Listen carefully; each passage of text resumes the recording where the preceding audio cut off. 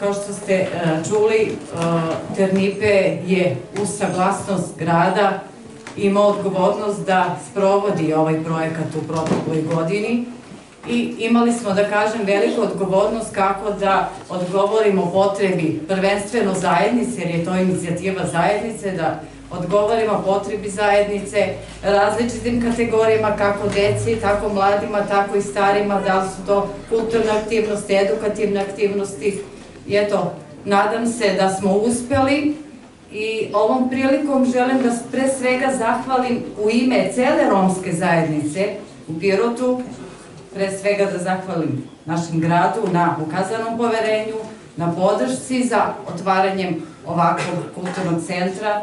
Želim da se zahvalim programu Unlacted koji je takođe imao razumevanja za uh, našu ideju i viziju, odnosno to ideja bila romska zajednica. Oni su imali potrebu za ovakvim prostorom i naravno uz uh, sinergiju svih relevantnih aktera, počev od romske zajednice, aktivista, preko gradske uprave, donatora ministarstva. Mi smo eto danas ovde i u ovom prostoru po prvi put zvanično obeležavamo Međunarodni dan Roma i Romkinje.